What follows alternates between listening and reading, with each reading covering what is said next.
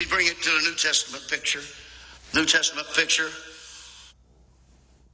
Bible says when Jesus Christ came into the world, the proclamation was, was made unto us a child is born, a son is given. The government will be upon his shoulder.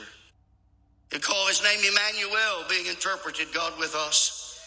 But this Emmanuel would, would walk for years on this planet doing miracles, signs, and wonders in his life. But that wasn't the ultimate purpose of his life. His ultimate purpose was to head to that cross. It didn't look like it was the will of God, but it was. He walked up the hill of Golgotha. They beat him, they whipped him, they put, put, put him on a cross, nailed him there, and it took, drove the, spear, spears into his side, and blood and water gushed out. And he cried, It is finished. And the earth shook, and the sky blackened. But was happening? Uh, amen. Uh, he was raising to you and I. Uh, the reason you and I can do what we're doing today is because of that.